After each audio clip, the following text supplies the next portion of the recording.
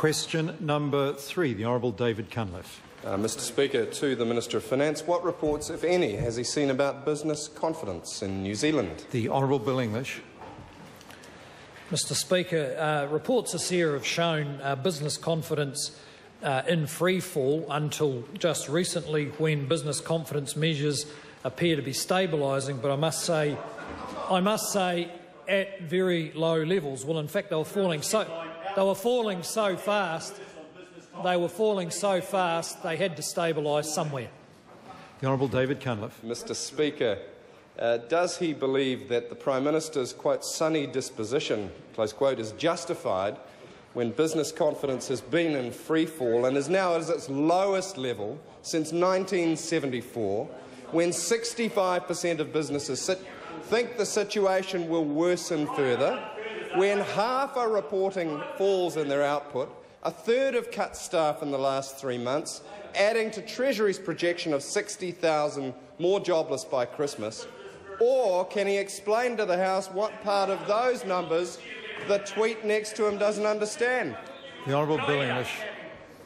Mr Speaker, well, somehow the opposition seem to be surprised about this. There's been forecasts now for several months that show coordinated world recession is going to have an effect on coordinated world recession is going to have is going to have an effect on the world economy.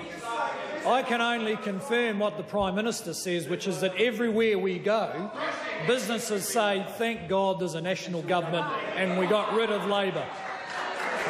Chris Tremain. Mr Speaker, supplementary to the Minister.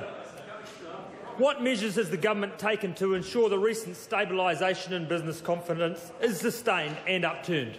The Honourable Bill English.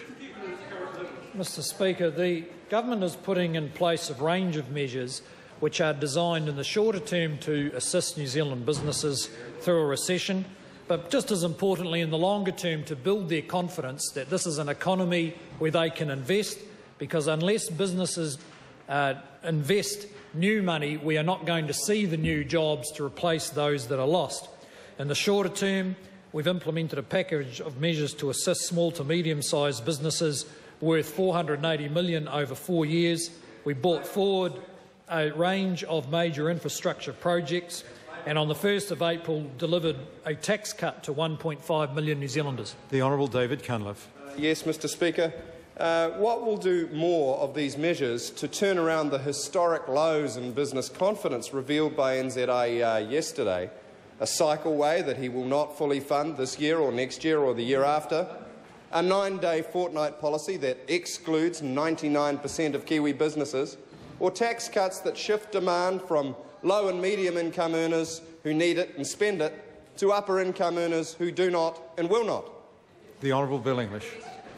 Mr Speaker, what is going to lift business confidence over the next 12 or 18 months is going to be the continued program of an active government making decisions quickly about things that make a real difference to the business environment because it's the, that is how we will get new jobs to replace the jobs that are being lost now.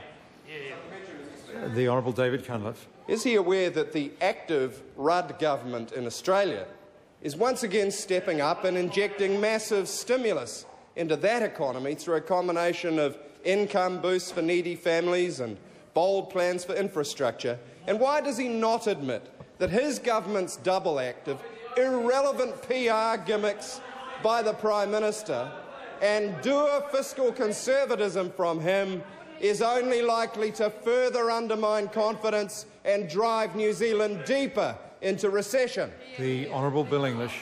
Well, Mr Speaker, the spokesman should do, can do a bit better than that, I would have thought, when the New Zealand government announces uh, a bold plan for broadband, he criticises every aspect of it. When the Australians do it, he calls it a bold plan for infrastructure. Honourable Sir Roger Douglas. The Honourable Sir Roger Douglas. Speaker, uh, what policy actions does the minister intend to take to ensure foreign bank lenders are more likely to roll over the debt owed to them by New Zealand companies when they fall due for repayment? The Honourable Bill English. Well, Mr. Speaker, um, th- this uh, is an issue which could be, which will be less of a challenge in New Zealand than uh, perhaps in other countries, but there is no doubt that global banks are deglobalising. Their governments, where governments increasingly own them, they are putting pressure on those banks to lend in their home markets rather than here. Uh, the most important thing we can do is to continue to underpin the stability of financial markets uh, and the fa- relatively favourable credit conditions uh, that are enjoyed in the New Zealand banking system. But this is one of any number of risks uh, to the availability of credit in New Zealand as it is in other countries.